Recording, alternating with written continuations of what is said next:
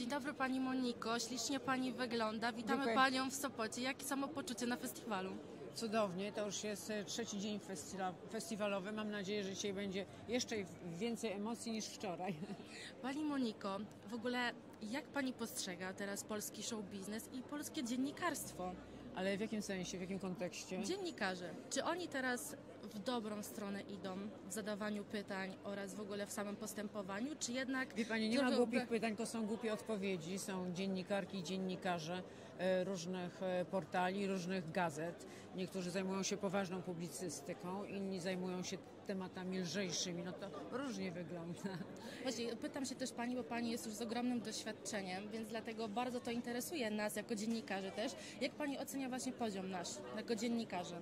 Ale Pani na przykład? Ale może nie mój, ale na przykład jak kogoś Pani ogląda, jak Pani czyta różne artykuły, czy teraz faktycznie liczą się tylko kliki, a już poważna treść nie ma No znaczenia? niestety e, czasami jest tak, że e, niektóre osoby są, e, występują na scenie, są cudowne, ale zdarzy się ktoś, kto się nudzi albo dawno nie zaistniał i postanawia e, dokopać tej osobie. No i jak e, pani wie, wszyscy lubią jak się dokopuje, w związku z tym klika się. I to jest najważniejsze, żeby się zaklikało.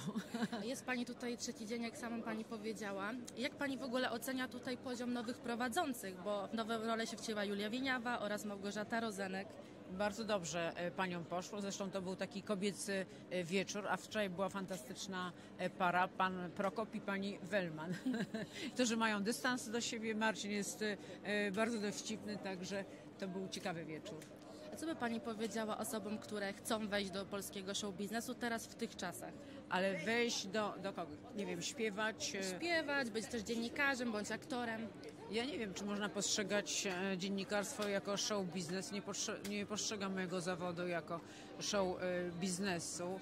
Jeżeli ktoś pracuje w, pismach kolorowych, można to nazwać e, no, takim lekkim dziennikarstwem, choć też w pismach kolorowych mamy przykład Vanity Fair, gdzie są bardzo poważne artykuły, wywiady. Także różnie bywa. A jakie Pani ma plany na przyszłość? Na przyszłość od Tak. poniedziałku będę prowadziła kropkę na D, wracam, o godzinie 20 zapraszam. No i zapraszam na mój program Monika Olejnik Otwarcie w TVN24 Go. Super, bardzo dziękujemy. Poprosimy jeszcze tylko o pozdrowienia dla naszych czytelników Show News. Pozdrawiam wszystkich z Show News, czytelników Show News i całą ekipę. Dziękujemy Dziękuję bardzo.